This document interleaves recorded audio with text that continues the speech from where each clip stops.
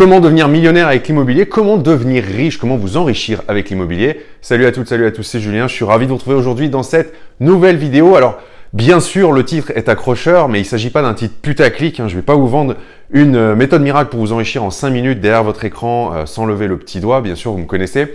Mais plutôt vous expliquer de façon concrète et rationnelle dans cette vidéo comment vous pouvez vous enrichir. Et oui, comment vous pouvez devenir millionnaire euh, avec un travail acharné grâce à l'immobilier. Donc si c'est un sujet qui vous intéresse, restez avec moi et on se retrouve tout de suite après le générique.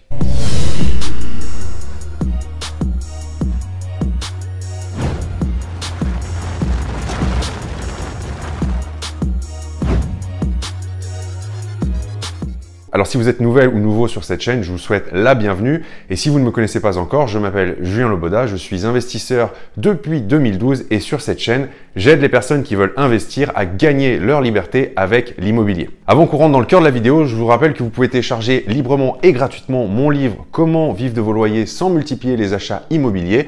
Il vous suffit de cliquer sur le petit i qui s'affiche à l'écran et de me dire à quelle adresse je dois vous l'envoyer. Alors bien sûr, le titre de la vidéo est accrocheur, hein, mais si vous êtes encore là, c'est que je pense que le sujet vous intéresse. Et euh, loin de vous dévoiler une méthode miracle pour vous enrichir en 5 minutes, comme je vous le disais, si vous me connaissez pour le coup, vous savez que c'est pas du tout euh, mon genre. Mais je veux plutôt vous expliquer de façon euh, très pragmatique, hein, de façon très concrète, quels sont les quatre leviers sur lesquels vous pouvez vous appuyer qui vous permettent de vous enrichir en immobilier. Et je vous montrer dans cette vidéo comment, si vous les respectez scrupuleusement, eh bien, vous pouvez vous enrichir et devenir millionnaire avec l'immobilier au bout de quelques années. Donc je vous ai dit qu'il y avait quatre leviers et l'idée bien sûr ça va être de réussir à combiner dans un monde idéal ces quatre leviers.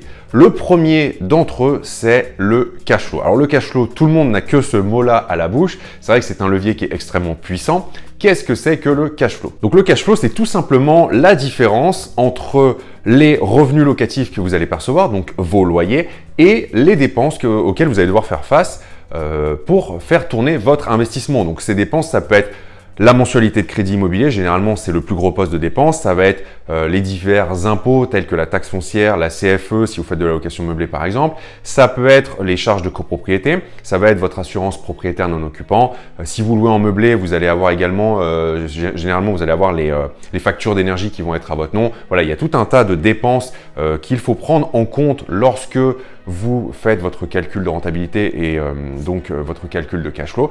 Et dans un monde idéal, en tout cas, un investissement rentable est un investissement qui ne vous coûte pas d'argent. Mais si vous faites vraiment un bon investissement, celui-ci doit vous générer ce qu'on appelle un cash flow, donc un bénéfice en fait. C'est-à-dire que la différence entre les loyers et les dépenses doit être positive. Le deuxième levier qui est à votre disposition en immobilier pour gagner de l'argent, c'est ce qu'on appelle l'appréciation du bien, autrement dit la prise de valeur.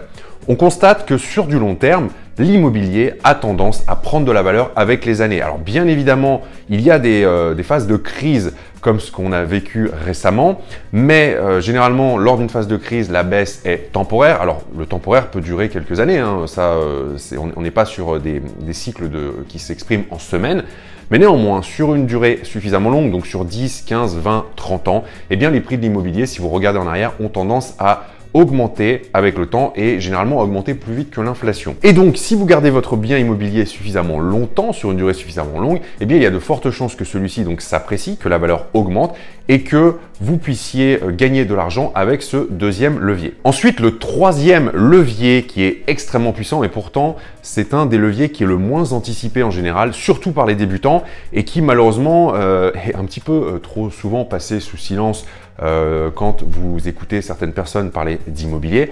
Ce levier, c'est en fait les, niches fiscales. Ce sont les niches fiscales, les avantages fiscaux. Pourquoi est-ce que je dis que c'est trop souvent ignoré, surtout par les débutants? Eh bien parce que, bien évidemment, souvent on est extrêmement excité de passer à l'action et d'acheter son premier bien immobilier et on se pose pas vraiment la question du régime fiscal et de, donc de la façon dont on va être imposé. Et il faut savoir qu'un même investissement immobilier, en fonction de la façon dont vous allez le réaliser, donc du statut que vous allez adopter et du mode d'exploitation, eh bien la fiscalité va être totalement différente. Et donc, vous pouvez vous retrouver à payer beaucoup d'impôts, comme vous pouvez vous retrouver à ne pas payer d'impôts du tout. Et donc, je ne vais pas vous faire un cours sur la fiscalité euh, ici, j'avais fait plusieurs vidéos sur le sujet de la fiscalité immobilière, vous pouvez aller voir si ça vous intéresse. Mais l'idée générale qu'il faut retenir en investissement locatif pour ne pas payer d'impôts, c'est que vous allez vous générer du revenu additionnel avec votre immobilier mais vous n'allez pas payer un seul centime d'impôt sur ces revenus additionnels générés. Contrairement à des programmes de défiscalisation par exemple, dans lesquels la mécanique est différente, et attention avec ce type de programme, où pour le coup on vous promet de euh, payer moins, voire plus du tout d'impôts d'une façon générale, mais quand vous faites le calcul dans, euh, la globalité, généralement, l'opération ne s'avère pas du tout intéressante. Et donc, comprenez bien qu'il vaut mieux vous générer 3000 euros de revenus locatifs additionnels tous les mois et ne pas payer un seul centime d'impôt dessus, plutôt que de vous générer 3000 euros de salaire tous les mois et d'avoir à payer des impôts sur le revenu dessus. C'est aussi simple que ça. Et enfin, le quatrième et dernier levier qui est à votre disposition pour gagner de l'argent, pour vous enrichir en immobilier, eh bien, c'est ce qu'on appelle l'amortissement de capital. Donc, l'amortissement de capital, c'est tout simplement le fait de rembourser une partie de votre emprunt tous les mois. Il faut savoir que chaque mois, quand vous euh, remboursez une euh, mensualité de prêt à la banque, vous remboursez en réalité trois éléments. Vous avez l'assurance du prêt immobilier, vous avez les intérêts, donc ça c'est la rémunération que prend la banque vous avoir prêté de l'argent, et vous avez une troisième partie qui est eh bien, le remboursement d'une partie du capital que vous avez emprunté. Et chaque mois, donc votre euh, capital restant dû diminue, et donc ça veut dire que vous devez de moins en moins d'argent à la banque. Donc qu'est-ce qui se passe finalement? Eh bien, plus le temps passe, moins vous devez d'argent à la banque, et donc plus la différence entre la valeur de votre bien et l'argent euh, que vous devez encore à la banque est importante, jusqu'au jour où vous ne devez plus du tout d'argent à la banque. Et il faut bien être conscient que si vous faites correctement les choses, eh bien ce sont vos loyers qui ont complètement couvert votre emprunt immobilier, et donc l'enrichissement que vous avez fait sous forme d'amortissement du capital, hein, sous forme de remboursement du prêt immobilier, eh bien ce n'est pas vous qui l'avez financé directement, mais c'est bien vos locataires à travers le loyer qu'ils vous ont versé. Alors concrètement, comment ces quatre éléments combinés entre eux vont vous permettre de devenir millionnaire ou en tout cas de vous enrichir avec l'immobilier? Eh bien, je vous propose que l'on prenne un exemple pour euh, comprendre de façon beaucoup plus simple comment ça fonctionne et comment ça se matérialise. Donc si vous achetez un appartement qui coûte 100 000 euros, on va prendre un exemple simple, 100 000 euros et qui vous génère 300 euros de cash flow tous les mois. Eh bien, 300 euros par mois multiplié par 12 mois, ça vous fait donc 3600 euros de cash flow, donc 3600 euros de bénéfices par année. Donc déjà au niveau du cash flow, vous vous êtes enrichi de 3600 euros. Bien sûr, dans le même temps, vous avez remboursé une partie de votre prêt immobilier, hein, ce que je vous disais sur l'amortissement de capital. On va, pour l'exemple, partir du principe que vous euh, remboursez 500 euros par mois d'emprunt, constitué par en moyenne 400 euros de remboursement de capital et 100 euros euh, d'intérêt euh, lissés sur toute la durée de vie du prêt. Donc 400 euros de capital remboursé multiplié par 12 mois sur une année, eh bien ça vous fait 4800 euros de capital remboursé, donc ça vous fait un enrichissement supplémentaire de 4800 euros. On a vu que le troisième levier, eh c'est la prise de valeur de votre appartement. Si votre appartement prend de la valeur au fil du temps, eh euh, admettons qu'il s'apprécie de 3% par an. Vous avez acheté un appartement qui vaut 100 000 euros tout compris sur le marché.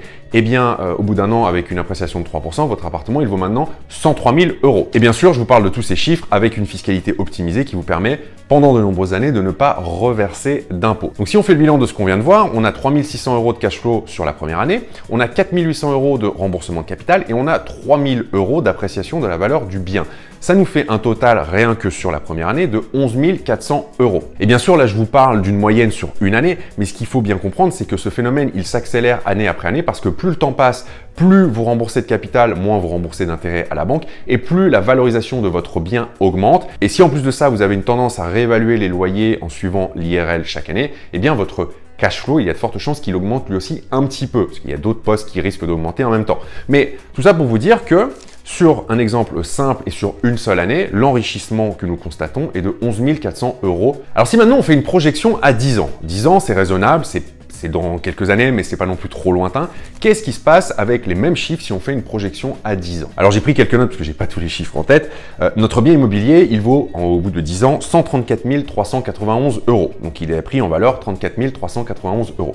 Euh, le prêt immobilier, il reste à peu près 60 000 euros de capital à rembourser. Donc ça nous fait déjà un, un delta de 74 391 euros d'enrichissement. Au niveau des cash flows, on a dit qu'on avait 3600 euros par an de cash flow. Donc sur une durée de 10 ans, eh bien 3600 x 10, nous avons donc 36 000 euros de cash flow cumulé. Donc si on fait le total de ce que je viens de dire, 36 000 euros de cash flow cumulé plus 74 391 euros d'enrichissement que l'on avait calculé juste avant, eh bien ça nous fait un total de 110 391 euros. C'est-à-dire que au bout de 10 ans, avec un appartement en partant de zéro et en empruntant donc la totalité, alors ça c'est un exemple simplifié pour euh, la démonstration, eh bien l'enrichissement il est de 110 391 euros. Alors vous allez me dire que c'est pas avec une opération que vous allez devenir millionnaire ou être immensément riche, bien évidemment, c'est pas ce que j'ai dit, mais si vous réalisez une dizaine d'opérations de ce type, lorsque tout est remboursé, eh bien vous vous retrouvez à la tête de 10 biens immobiliers qui valent chacun plus de 100 000 euros. Et en fait le, le delta il est bien plus important, on l'a vu avec le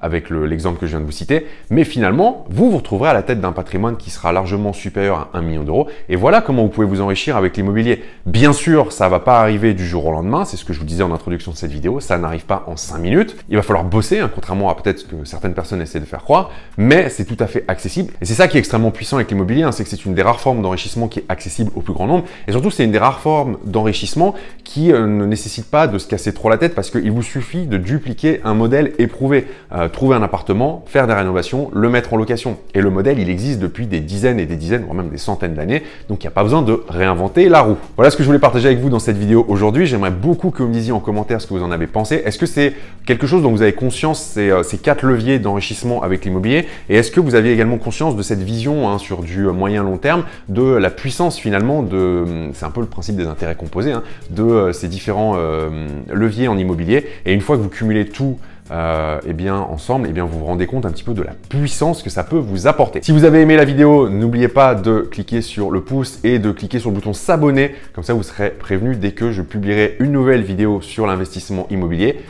Merci à vous d'avoir regardé cette vidéo et je vous dis à très vite pour une prochaine. Ciao